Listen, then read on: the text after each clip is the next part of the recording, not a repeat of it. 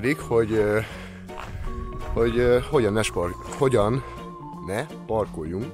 Spanyolországban című epizódunk. Régen fogtam már kamerát a kezembe, úgyhogy jó ki vagyok tőle. Úgy alakult, hogy félve attól, hogy én túlságosan kriminális vagyok vezetés terén, és hát a hugomék meglátogattak, és odaadtam nekik az autót, ami nem az enyém, ráadásul, hogy hát menjenek el kirándulni nélkülem, mert hogyha én vezetek, általában mindig történik valami. Az eddigi itt létünk alatt, sőt mondhatnám azt, hogy az első két héten, hogy Spanyolországban megérkeztünk, azonnal elvitték az autót. Megálltunk egy olyan helyen, ahol más is megállt, de hát rossz volt a felfestés. Ez egyébként azt hiszem ö, valahol Benáméda, Fulangerola között volt, és egy ismerősömmel, aki akkor éppen el voltunk szállásolva, megkértem, hogy hát mutassa már meg a partot. Igazából sétáltunk egy vagy két háztömnyit, azaz olyan két-három, maximum öt percre hagytuk ott az autót, mire visszaértünk, már nem volt ott. Az volt akkor a nagy szerencsém, hogy szerencsére olyan ö, olyannal voltam, aki elég jól beszél spanyolul, ismeri a, a, a, a környéket, és mondjuk azt, hogy elég gyorsan meg tudtuk találni az autót, és ezért csak akkor ö, 300 vagy 350 eurót kellett fizetnünk. Na majd most, ugye ez megtörtént, kedves hugomékkal, hogy lementek ugye Malagába, egész nap minden rendben volt, parkolóházakba parkoltak, nem volt semmi gond, és ahogy már majdnem hazaértek, alattunk lévő városban, itt Velez Malagában, a pláza, plázának, tehát a, a, a két Torre del Mar és Velez Malaga között van egy pláza, ahol rengeteg parkoló van, de a plázának az egyik felét, a parkoló részét is, meg mindenét lezárták, mert felújítják. Lényeg a lényeg, ők hazafele megálltak a plázába, hogy sétálgatnak még ott egyet, és leparkoltak egy olyan helyen az autóval, a Burger King mögött, ami körülbelül ilyen, mint itt, tehát nincs lebetonozva, ott egy üres terület van, ahol nagyon sokan szoktak parkolni, reggel is, este is, ez nem számít. Az a lényeg, hogy ahogy kiértek a, a plázából, látták, hogy jönnek, mennek a sárga autók, azonnal kapcsoltak, oda is mentek az autóhoz, amit már éppen tettek volna fel az autóra, de hát ők jelezték, hogy hát ha már így alakult, akkor kifizetnék a bírságot helyszínileg, ami 100 euró lett volna, csak hogy az autónak a biztosítása az nem volt az autóban az érvényes, hanem csak e-mailen volt meg, és arra várni kellett volna körülbelül 5 percet, ameddig odaért telefonon, hogy igazolni tudják, hogy ugye érvényes biztosítás van az autón, és a rendőr nem várt, hanem elvitette a kocsit, ide Velezmalagába a rendőrségre, és ott hagyta a hugomékat, a párját, meg a barátnőmet, há- két hölgyet, meg egy, meg egy urat ott hagyott a ö, város kellős közepén, mondván, hogy akkor hívjatok egy taxit. A rendőr nincs az a tisztában, hogy mi hol lakunk. Például, hogy innen ö, lemenni, az eleve egy kinkes, kinkeserves ö, valami, tehát ö, na mindegy, nem is értem ezt az egészet. Pontosabban értem ezt az egészet, ez egy ilyen shit happens, csak remélem, hogy ez esetleg másoknak tanulságos lehet, hogy míg ö, itt az a jellemző, hogy a, hogy a spanyol árkon, bokron keresztül közlekedik, és mindenhol megáll, kezdve a körforgalomtól, kezdve a leg elképzelhetetlenebb helyekig, addig én folyamatosan úgy keresgélem a parkolókat, hogy, hogy háromszor beszállok, meg kiszállok, körbenézek, arrébb megyek, hogyha valami nem stimmel, mert attól rettegek, hogy el fogják vinni a kocsit, és igazából ha rettegek tőle, hanem ha, ha megadom az alapját, hanem akkor is elviszik, és akkor is fizetni fogsz. Úgyhogy az, aki idejön Spanyolországba, az tanulja meg, hogy egyrészt ugye spanyol rendszámos autó, és ugye kaphatnám rá most az élet, hogy hát miért nem spanyol rendszámos autóval közlekedünk. Most veszek spanyol rendszámos autót, ma, és ez tegnap történt, úgyhogy, úgyhogy ja, karma, vagy shit happens, vagy én nem tudom, de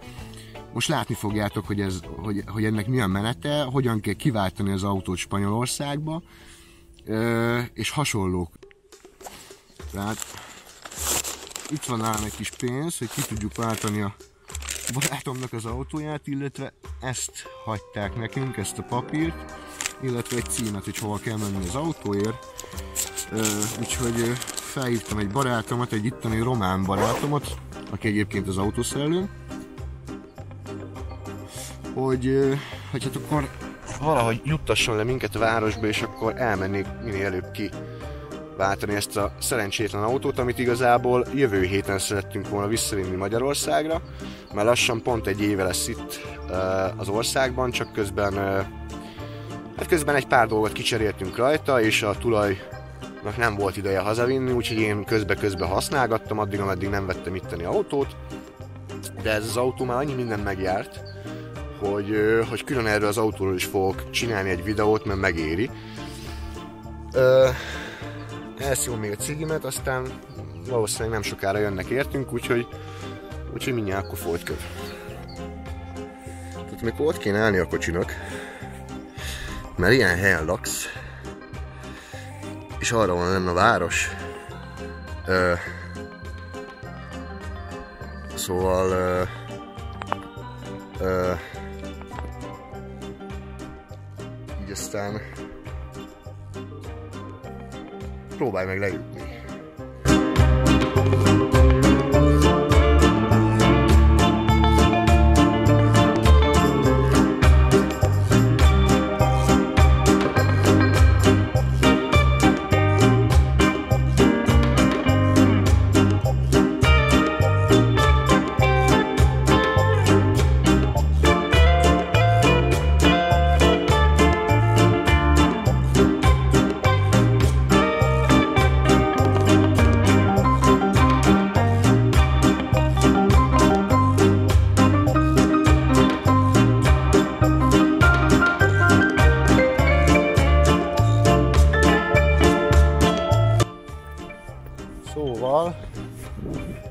Vagyunk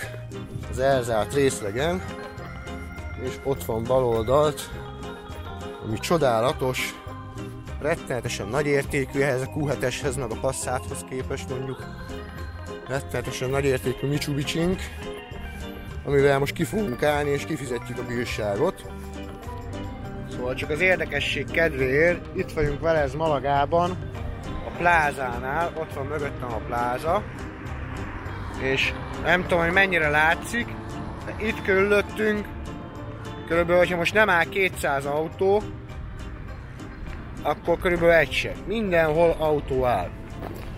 Na szóval, lényeg a lényeg, hogy körülbelül ezen a szent ponton volt az autó, nem is csak ez az egy autó, hanem még több, ugyanúgy, mint ahogy most is itt állnak az autók,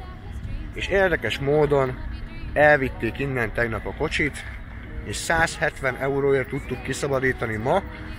úgy, hogy a tulajnak el kellett küldenie mindent az autóról, meg papírt kellett írni arról külön, hogy nekem odaadta az autót, és itt el, és itt el. Tehát, hogyha valaki ide jönne Velezmalagához, és itt lenne a Burger King mögött a parkolóba, akkor attól függetlenül, hogy látja, hogy itt van 70 millió 600 50 autó, ami ugyanígy itt parkol, ne tegye meg mert ő nem teheti meg. Csak a spanyol teheti meg, azért, mert ő bunkó, és ki tudja magyarázni. Te meg nem tudod kimagyarázni, csak fizetni fogsz. Úgyhogy megmentettük az autót, most meg húzunk innen a gecibe. Tehát mi az, amit megtanultunk ma? Első körben az, hogy hiába látjuk, hogy a helyi ö, hogy parkol bizonyos helyeken, vagy hol állnak meg, vagy nekik mi a megszokott. Itt konkrétan az történt, hogy mint láttátok ott a parkolóban, most is ott állnak autók, valahol, nem éppen a felfestésem,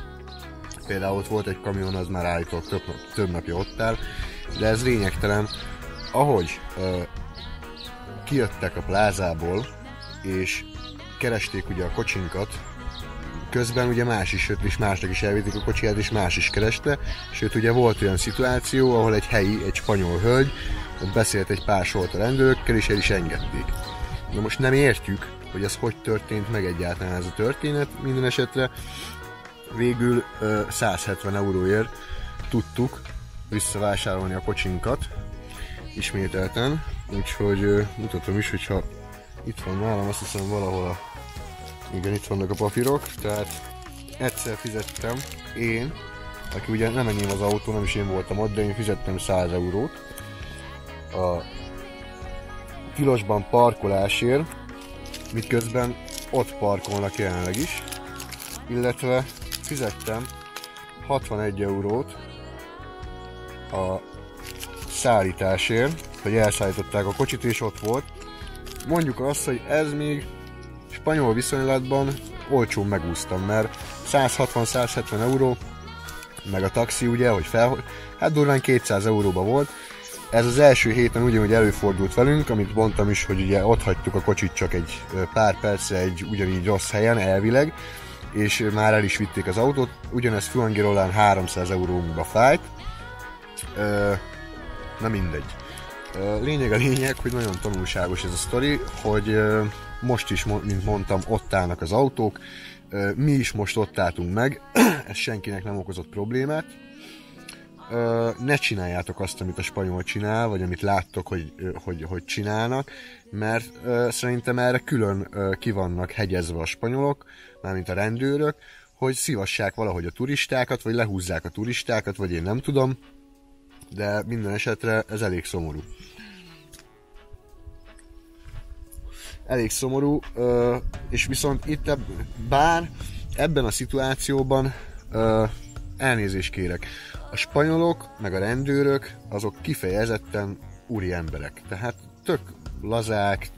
nem ordibálnak veled, nem bunkóznak veled semmi, egész egyszerűen neki lazán van véve az egész, és hát nem tudsz mit, akkor viszik a kocsit, és kész. De lényeg a lényeg, hogy most, amikor ugye hoztam ki a kocsit, például a tulajnak ugye el kellett küldeni egy egy meghatalmazást, hogy én vezethetem az autót, nem adták oda az autót, anélkül, hogy ott e-mailben át nem küldte nekem a tulajdonos, illetve lecsekkolták ugye a, a, a biztosítást, hogy hogy ugye érvényesen, mert Magyarországon nem vagy köteles magadnál tartani a biztosítást, viszont itt ők azt nem tudják, hogy az érvényese, úgyhogy erről érdemes, hogyha ki van nyomtatva legalább az a papír, ami rajta van a biztosításnak a kötvényszáma, hogy azt ők minél hamarabb, minél egyszerűbben ott le tudják akár helyszínen ellenőrizni, máskülönben bukod az autódat, vagy a bérelt autódat, különféle kellemetlenségek fognak érni,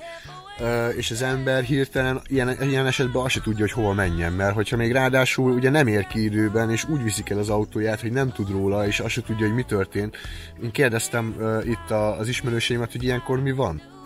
Hogy, hogy, hogy hagynak valamilyen értesítés, és azt mondta, hogy ahol az autó állt, a földön hagynak egy sárga borítékot. Mi van, ha elfúj a szél?